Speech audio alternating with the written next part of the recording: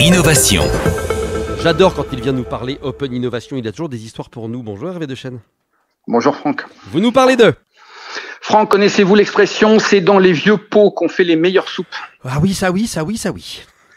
C'est une expression qui doit paraître totalement désuète à nos auditeurs. Pour la situer dans le temps, il faut revenir au siècle dernier, dans les années 30. À l'époque, Frank Strepler n'était en- encore qu'un enfant. Vous seriez un peu plus près, je vous giflerais, cher ami. Euh, quel est le lien avec la supply chain? Expliquez-moi.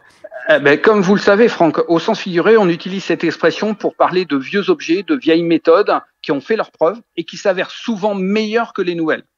Et quand on parle sauvegarde de la planète, zéro déchet, économie circulaire, contenant réutilisable, on utilise des mots qui semblent d'un autre temps, comme consigne ou. Et donc, vous allez nous présenter une start-up euh, que vous avez découverte et qui fabrique des gamelles consignées, c'est ça? Oui, la startup Bernie est lancée en 2020. Elle remet au goût du jour ces deux notions. Ce que moi j'appelle une gamelle, c'est un contenant dédié à l'alimentaire en acier inoxydable, réutilisable, résistant au cycle de nettoyage, recyclage en fin de vie et compatible avec toutes les contraintes industrielles de l'agroalimentaire.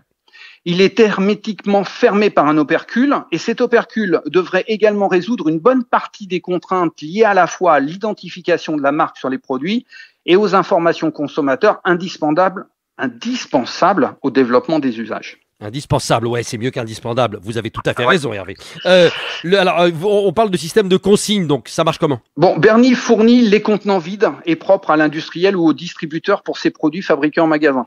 Le consommateur qui achète son produit voit à la fois le prix du produit et celui de la consigne. Il règle la totalité en magasin et il récupère le montant de sa consigne lorsqu'il revient redéposer le contenant sur le lieu de vente.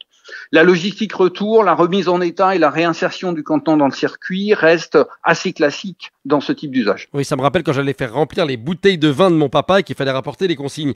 Euh, qui sont les fondateurs?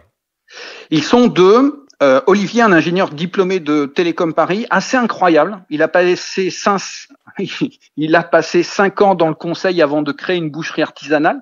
Ça me trouble. Puis il est retourné dans le conseil sur la réorganisation des métiers du frais chez un grand distributeur. Et puis il y a Claire, issu d'une école de commerce, pur produit de la communication et de la publicité. Je comprends que vous soyez troublé par la passerelle entre conseil et boucherie, il n'y a aucun problème. Alors, ils en, ils en sont où aujourd'hui? Aujourd'hui, ils adressent la grande distribution et ils sont en test dans plusieurs magasins. Ils ont déjà des dizaines de milliers de contenants en circulation et puis ils explorent les, les industriels, mais c'est plus long à mettre en place. Question traditionnelle, y a-t-il des concurrents sur ce marché?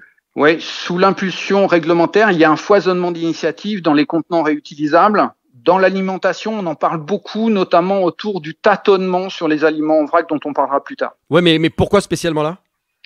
Eh bien, déjà, il y a un produit qui répond aux contraintes de l'usage.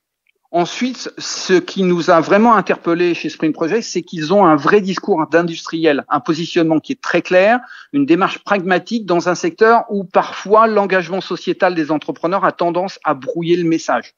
Alors, ce sont certes des conditions nécessaires, mais pas suffisantes pour développer un business. Et toutes les cartes ne sont pas dans leurs mains. Là, il faudra maintenant un alignement entre la volonté politique, les offres et la demande des consommateurs.